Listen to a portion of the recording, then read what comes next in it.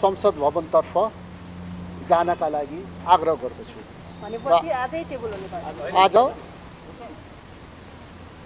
MCC परियोजना सम्झौता सार्वभौम संसदमा टेबल हुन्छ र यसपछि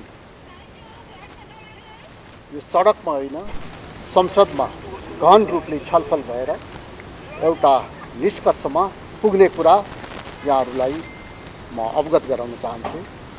धन्यवाद आजै टेबल हुन्छ अब एमालेको अवरोध जारी छ यहाँहरूले यो बिचमा अब एमालेलाई पनि आउनुहोस् भन्नुहुन्छ होला नि त।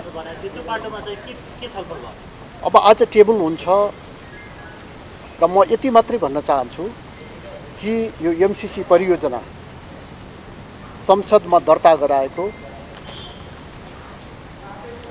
अर्को विगतको सरकार केपी शर्मा ओलीको नेतृत्वको सरकारले यसलाई संसदमा दर्ता गराएको हो र सरकारको अविच्छिन्न उत्तराधिकारीको रूपले हामीले आज यसलाई टेबल गराउँछौँ र यसपछि अहिले प्रमुख प्रतिपक्षी दलमा रहेको एमाले जो त्यतिखेर सरकारमा हुनुहुन्थ्यो उहाँहरूले यसको जवाफ तपाईँहरूलाई दिनुपर्छ र उहाँहरूसँग तपाईँहरूले सोध्नु होला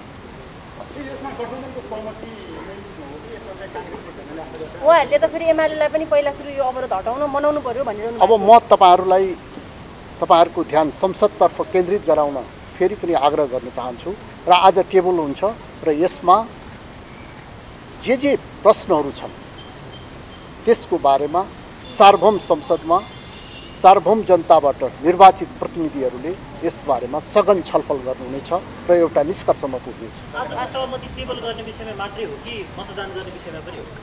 आज टेबल हुन्छ। धन्यवाद।